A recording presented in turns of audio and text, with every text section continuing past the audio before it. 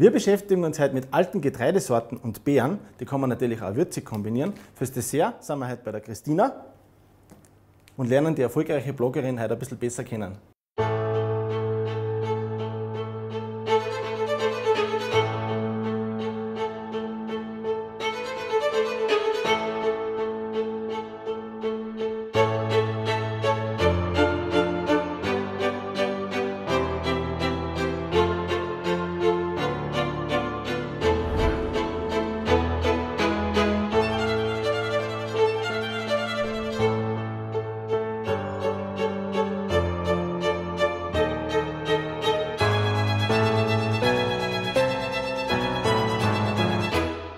Bei Natürlich gekocht. Ja, der Herbst der hält Einzug bei uns und auch bei unseren Rezepte werden wir ein bisschen bunter heute. Und äh, außerdem werden wir noch die Christina Bauer besuchen, die mit ihrem Blog Backen mit Christina ja schon richtig durchgestartet ist. Aber als allererstes brauche ich einmal die Aufgaben von der Bettina und das werden wir jetzt einmal anschauen. Heute widmen wir uns den Beeren und dem Getreide. Und du, Markus, schaust, dass du an Hafer und an Dinkel beim Getreidebauern besorgst. Am besten eine alte Sorte.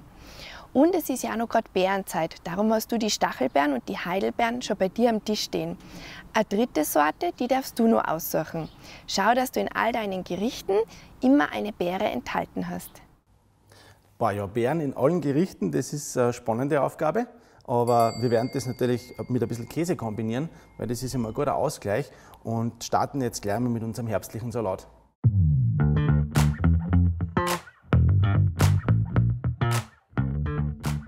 Unseren Herbstsalat brauchen wir jetzt ein bisschen einen Schafskäse. Den werden wir uns mit ein bisschen braunem Zucker oder Rohrzucker karamellisieren, bis der eine richtig schöne Kruste kriegt. Und dann habe ich einen Energiespartipp für euch. Äh, verwendet immer die kleinstmögliche Pfanne und beim Neukauf ist ganz wichtig, achtet auf die Energieeffizienzstufe und Induktion ist natürlich immer das Energiesparendste.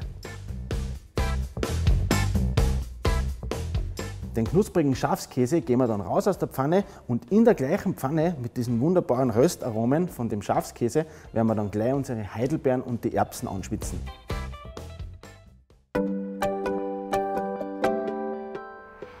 Die Heidelbeere gehört zu den Heidekrautgewächsen und sie liebt schattige Wälder, Nadelwälder oder auch Torfboden. Am besten ist es, wenn es ein kalkfreier Boden ist.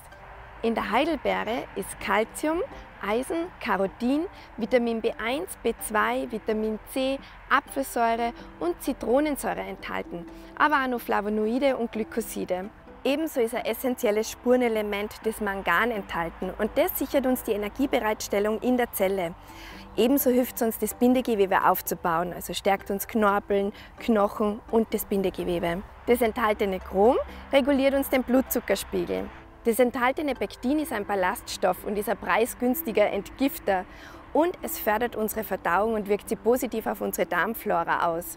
Die frische Heidelbeere, die hat eine leicht abführende Wirkung. Hingegen die getrockneten Heidelbeeren helfen sogar gegen Durchfall. Frische Heidelbeeren gekaut helfen uns gegen Entzündungen im Mundbereich, weil sie antiseptisch wirken. Die dunkle Farbe der Heidelbeeren helfen uns auch die Sehkraft zu stärken. Ebenso kann man die Blätter der Heidelbeere verwenden. Die wirken gegen Blasenentzündung. Man kann die getrockneten oder frischen Blätter dafür verwenden.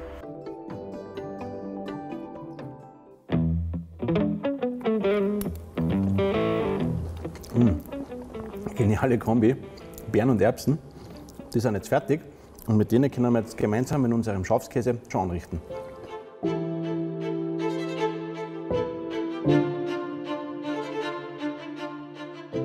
Bisschen einen marinierten Salat, den setzen wir jetzt da noch in die Mitte.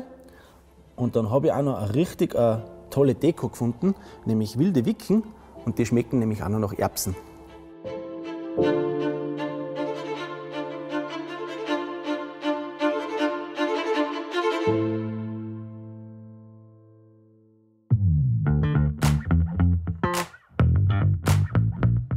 Als Hauptspeise machen wir uns heute eine Roggenteigpizza. Da habe ich schon was besorgt, nämlich einen Tauernroggen, ein Tauernroggenmehl. Und dazu haben wir auch noch ein paar Stachelbeeren, ein bisschen Senfkäse und natürlich einen richtig super Hirschschinken. Und aus dem machen wir uns diese Pizza und da starten wir jetzt gleich mal mit dem Teig.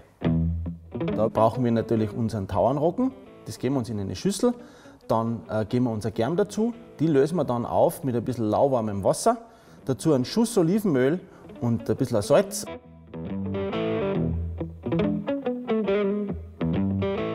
Natürlich müssen wir den jetzt noch richtig ordentlich kneten und dann gehen lassen.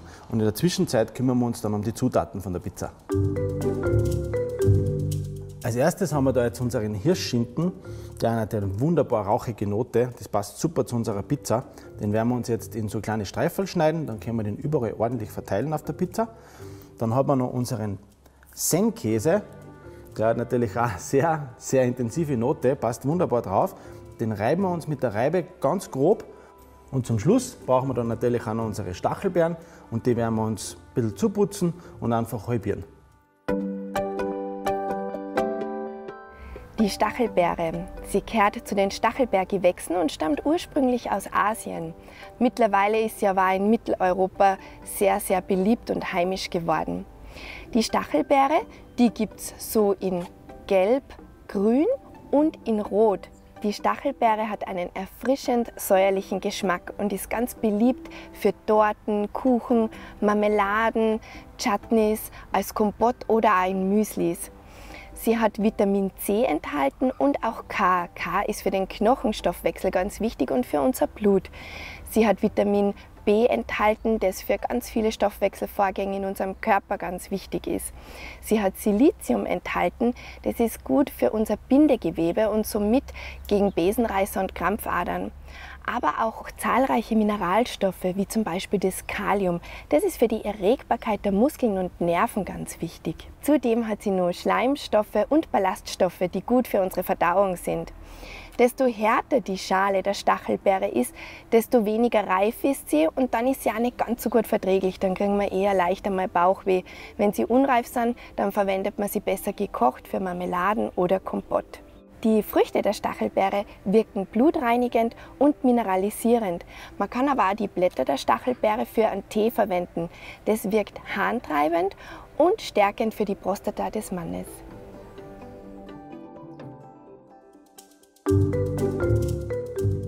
Ja, unser Dauernrockenteig, der schaut jetzt schon richtig gut aus. Den werden wir jetzt dann ausrollen. Als erstes brauchen wir aber unbedingt für die Pizza ein vorgeheiztes Backrohr. Und da habe ich gleich einen Tipp für euch wenn ihr das Backrohr vorheizt, immer die Schnellaufheiztaste benutzen, weil das spart euch richtig Energie. So, jetzt als allererstes Teig ausrollen und dann geht es schon mal in das, was am meisten Spaß macht, nämlich das Belegen.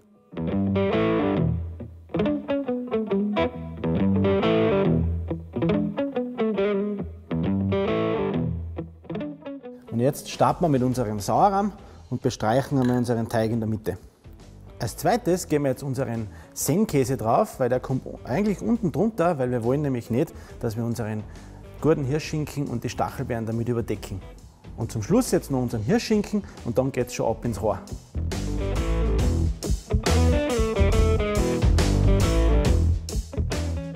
Unsere Pizza ist jetzt fertig, nach ungefähr 12 bis 15 Minuten. Und jetzt holen wir uns die da raus. Was mir so richtig gut gefällt, das ist, das hat ein bisschen einen Brotcharakter. Also das ist eine tolle Geschichte. Und jetzt brauchen wir nur noch finalisieren mit unseren Stachelbeeren und unserer Minze.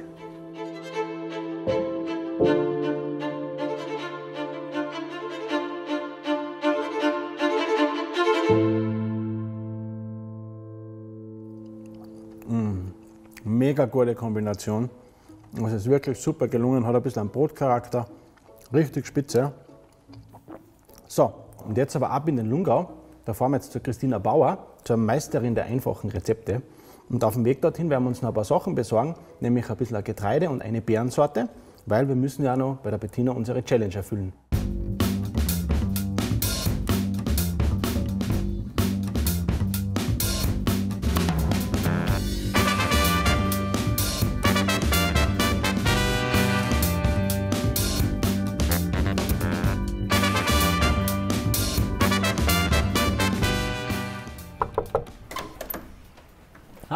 Dich. Grüß dich. Grüß dich. Ich habe gehört, bei euch gibt es ein richtig gutes Getreide.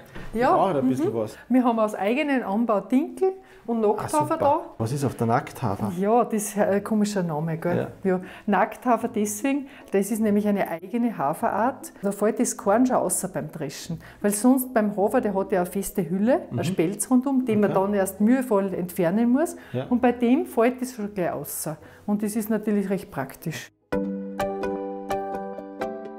Hafer gehört zu den Süßgräsern und ist Nahrungs- und Heilmittel zugleich. Er hat ganz wenig Gluten, daher ist er super verträglich.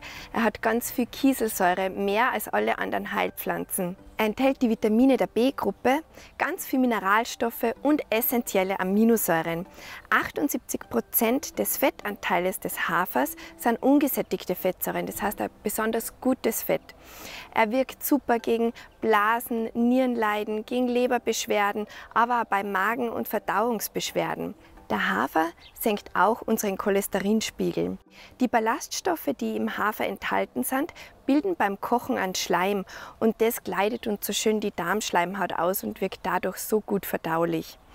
Er regt uns die Knochenbildung an und ist gut für unser Blut. Darum ist er eine super Speise für Kinder. Man kann auch ein Haferstrohbad machen. Das ist super gegen Gicht, Rheuma oder auch bei Gelenksbeschwerden wie ein Hexenschuss zum Beispiel. Man kann aus dem Hafer Haferschleim, Hafersuppen oder eben den Haferbrei, diesen Porridge, zubereiten. Idealerweise hat der Hafer täglich in unserem Speiseplan am Platz.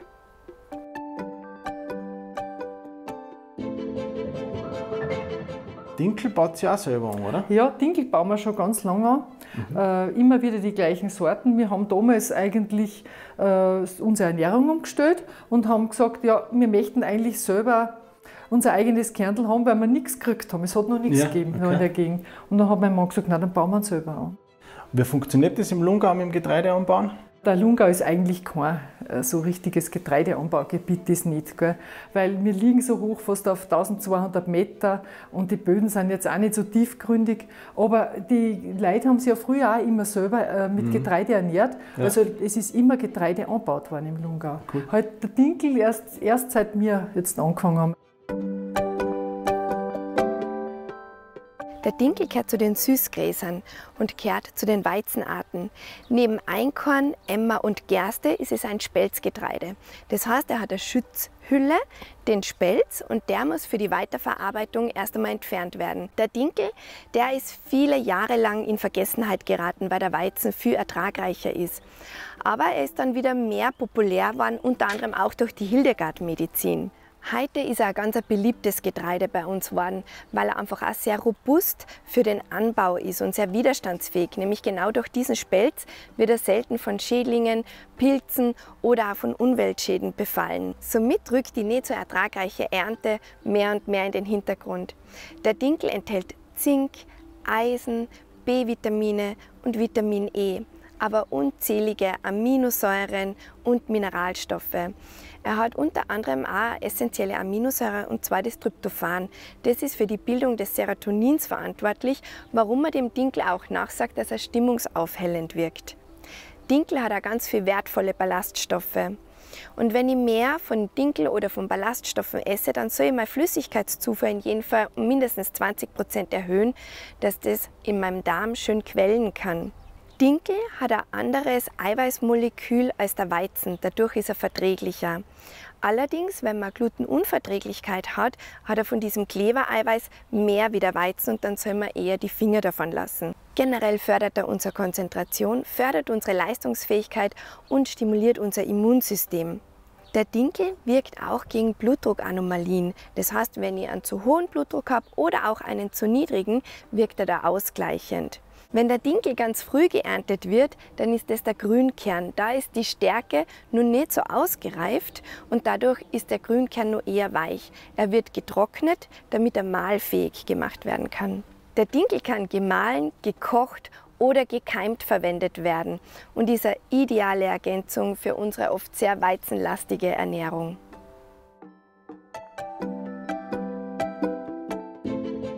Der hat eine sehr gute Backfähigkeit, mhm. der Dinkel, und ist auch geschmacklich, hat einen sehr guten Geschmack. Wir haben auch andere alte Getreidesorten, also wir probieren immer wieder Sachen aus, ob das auch bei uns wird, weil wir es eben selber auch verwenden. und uns das wirklich viel Spaß macht. Okay, da habe ich jetzt noch was gesehen. Aronia-Beeren. Ah, das klingt auch interessant. Ja, die Aronia-Beere ist ganz was eigentlich Neues in, in Österreich. Gibt es erst seit 20 Jahren. Wir bauen es jetzt seit 8 Jahren an. Und ja, da habe ich ja, auch getrocknete Beeren für die zum Kosten. Nimm gleich ein paar. Ja, die sind natürlich jetzt keine Rosinen, die sind herb, die sind zusammenziehend im Mund, aber eben die Aronia-Beere ist wirklich ganz was Gesundes und wird äh, sehr, sehr geschätzt. Mhm. Ähm, darf sie die auch selber anbauen, oder? Die machen wir auch selber. Seit acht Jahren haben wir unsere Kulturen angefangen und mittlerweile haben wir jetzt acht Hektar Kulturen. Und da machen wir eben alles selber. Wir haben die selber gepflanzt, wir haben sie selber gejätet, was ziemlich viel Arbeit okay. war, weil als Biobauer darf man ja doch kein Gift spritzen. Mhm. Und jetzt sind sie groß genug, das hast du wahrscheinlich noch nirgends gesehen. Mm, die sind nicht, so rein viel, und haben große, äh, eine große Kultur. Und wenn du willst, können wir es uns anschauen. Das ist eine gute Idee. Ja? Schauen wir mal, mhm.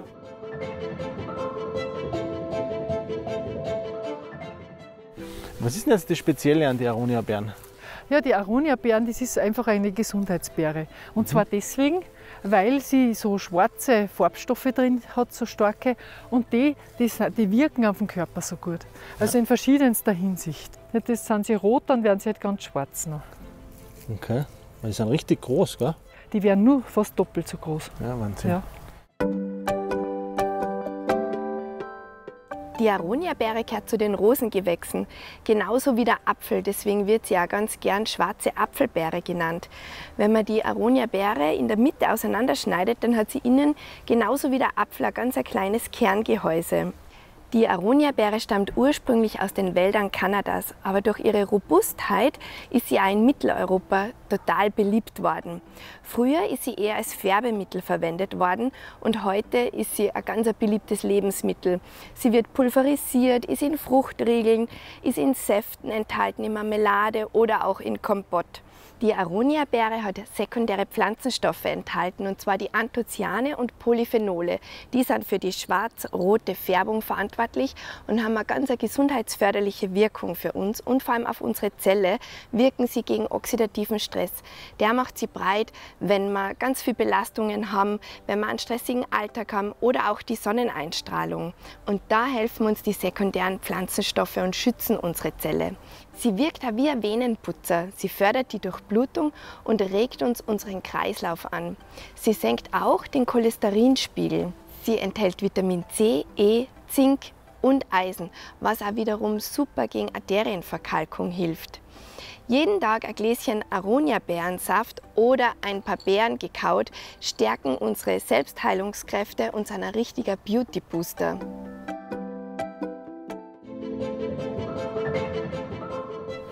Und wie ist das da mit dem Anbau so bei euch im ja? Also sie geht ein gut, weil die Pflanze eigentlich ja sehr kälteresistent ist und für, den, für ja. so ein kühles äh, Klima gut geeignet ist. Äh, und äh, wir haben auch den Vorteil, dass wir ja, weil wir so hoch liegen, auf fast 1200 Meter, dass wir eine sehr intensive Sonneneinstrahlung haben und das ist natürlich gut für die Beere, für die Reifung ja. der Beere. Okay. Und außerdem diese äh, Temperaturunterschiede, die es bei uns gibt, also in der Nacht ist es ziemlich kalt, bei Tag doch heiß, das äh, bewirkt dann eine Farbintensität noch zusätzlich. Ah, okay. Und was macht ihr alles genau aus der Aronia-Beeren jetzt? Also hauptsächlich Saft natürlich, aber auch getrocknete Beeren, äh, Pulver, Aronia-Pulver und verschiedene Tees. Das klingt super. Ich werde jetzt meine getrockneten Beeren schnappen und das Getreide und dann fahre ich zur Bloggerin Christina Bauer und da werden wir das einmal gleich ins Dessert einbauen.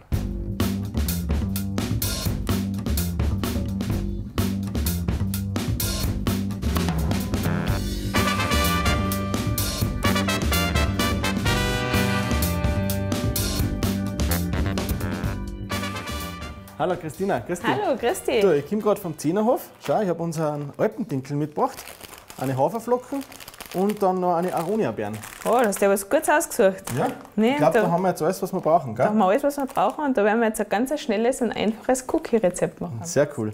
Ja, gefällt mir, dass ich heute mal bei dir sein darf, dass wir sie einmal kennenlernen. Ja, es gefällt du, mir. Wie bist du eigentlich gekommen zu der Geschichte mit deinem Blog Christina und Backen und die ganze Sache? Wie ist das passiert? Es ist einfach ungeplanterweise passiert. Also ich habe einfach immer schon gern Backen und ähm, habe dann angefangen, für unsere Gäste im Haus ein Frühstücksgebäck zu machen, aus einer Also, es war so eine Idee, die einfach passiert ist. Und das ist, hat sich dann irgendwo umgedreht und dann sind Leute gekommen und gefragt, du, wie machst du das? Ich habe mir gedacht, ich kann nicht selber Semmel machen.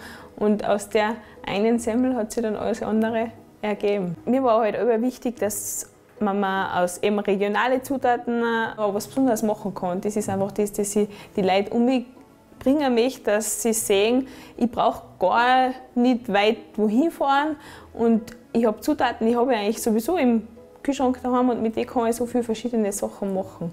Ja, und dein Blog Backen mit Christina ist ja richtig groß geworden mittlerweile. Wie geht es dir da jetzt damit? Ja, daraus hat sich eigentlich was entwickelt, mit dem ich niemals gerechnet hätte. Ähm, wir sind mittlerweile 14 Leute, haben jetzt ein neues äh, Firmengebäude, in dem wir alles zusammenfassen können. Wir haben von, von dort aus passiert der Versand für unseren Online-Shop. Wir haben dort einen eigenen Shop auch und eben die Büros für meine Mitarbeiterinnen und ähm, wir haben eine eigene Küche zum Videos machen. Und die Nachhaltigkeit war uns bei dem ganzen Projekt auch sehr wichtig. Daher haben wir auch eine Photovoltaikanlage am Dach haben und wir haben vorgesorgt für Elektromobilität. Mhm. Weil ohne Strom geht beim Backen nichts und das tue ich nach wie vor so gern. Ja, das, ist, das haben wir schon beim Thema. Genau. Die Cookies, wie funktionieren denn die jetzt genau?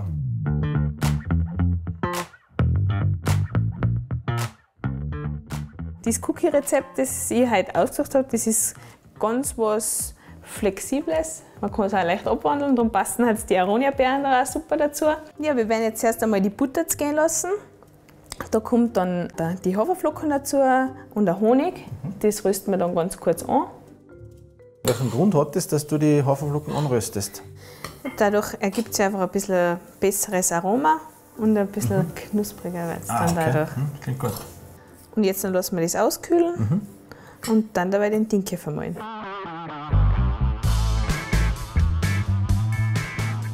Und dann machen wir einfach aus dem Alm, also aus dem Dinkel, aus dieser Haferflockenmischung, aus einem Eierl, Backpulver und Zimt, einen Teig. Die Aronia-Beeren, die dürfen wir jetzt auch nicht vergessen. Die müssen wir rein. Genau, die tun wir jetzt noch dazu. Wie viel brauchen wir da? So eine kleine Handvoll. Lassen wir mal reinrieseln. Ja, du sagst einfach einmal Stopp, oder? Passt, oder? Schauen wir mal. Ah, Okay, ein paar noch, paar oder? noch. Ein bisschen wenig fruchtig. Passt gut.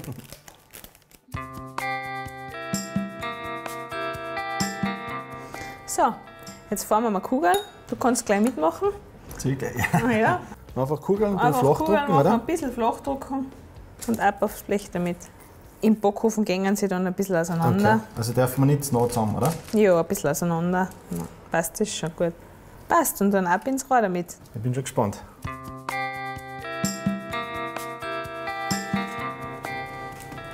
So, nach 10 bis 12 Minuten sind sie schon fertig. Ui, die schauen gut aus. Die verkosten wir jetzt gleich. Ja. Der, der, ich nehme jetzt gleich eins, Ja. gell? Schauen wir mal. Mmh, mal sind richtig gut. Hm, schmecken super. Muss ich auch? einmal kosten? Natürlich. Ja. Sehr gut. Und schauen wir uns jetzt aber gleich an, was die Bediener zu unserem Menü sagt. Die Aronia-Beeren sind ja echt eine super Idee von dir gewesen. Du hast es echt geschafft, dass du jede Beere in eins deiner Gerichte eingebaut hast. Und die Pizza so zubereitet ist eigentlich ein richtig vollwertiges Gericht. Die Hafer- und Aronia-Cookies, ein einfaches und wirklich leicht nachzumachendes Rezept. Das werde ich bestimmt ganz bald mal ausprobieren. Ja, also ich glaube, die sind uns richtig gut gelungen. Und ähm, Bettina, wenn uns nach unserer Nascherei auch überbleiben, dann nehme ich da vielleicht auch mit.